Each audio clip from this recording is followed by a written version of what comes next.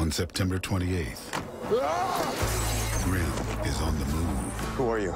With all new episodes back on Fridays. I'm here to kill you. Would you be happier if I moved out?